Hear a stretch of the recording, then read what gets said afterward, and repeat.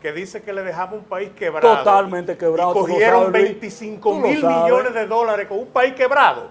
Hermano, o sea, usted va a coger... Pero un país quebrado tú tienes que coger Vamos, a, vamos, a, vamos a darle oportunidad.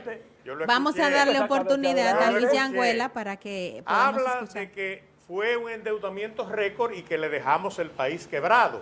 Entonces, ahora mismo, este gobierno en cuatro años ha tomado más préstamos que en los ocho años, diez años, quince años atrás de todos los gobiernos que precedieron, incluyendo el COVID-19.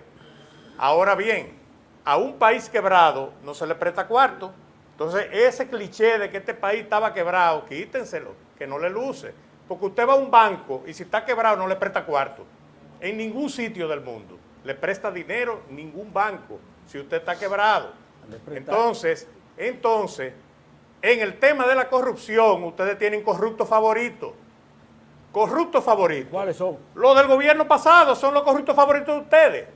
Porque ustedes han tenido muchísimos casos que no se han podido ventilar porque están en el gobierno, pero se ventilarán el día en que cambie el gobierno.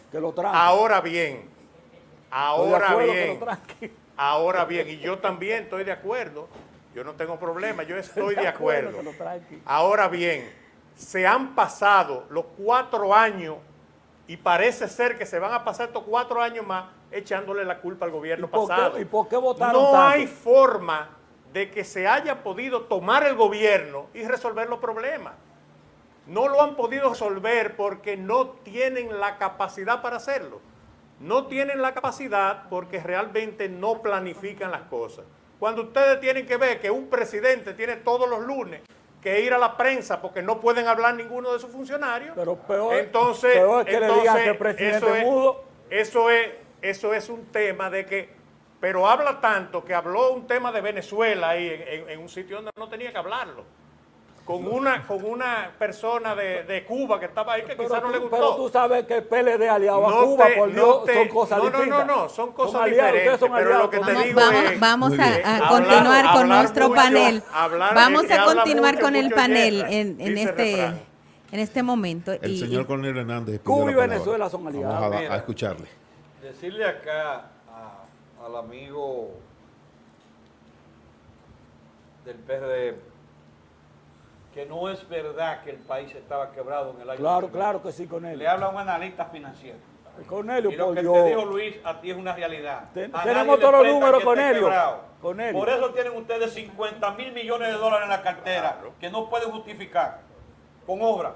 Y le prestaron, ¿tú sabes por qué? Porque le dejamos un país en condiciones estables. No diga un país con precios estables, con inflación controlada Ve ¿Cuánto se robó el hermano de Danilo del, del, público? Usted quiere hablar de robo. Pregúntele al ministro de Educación suyo que votó 15 mil millones de pesos en, en, libros o en, computadora. Eh, eh, pero la computadora la entregaron todita. la entregaron todita. Es interesante el debate. Vamos a... Cornelio. Y pregúntele al que dirige una vaina de ambulancia que nunca había visto aquí, que al año 2023 llevaba 1.392 millones de pesos. No deja eso, que Gonzalo le rentaba, oye, oye, Gonzalo Gracias, vamos a agradecerle. Este... ¿Quién le rentaba toda la ambulancia al PLD? No era Gonzalo, era Gonzalo. Vamos a agradecer este momento. Agradecemos. Dime que yo vivo en un festival de apagones.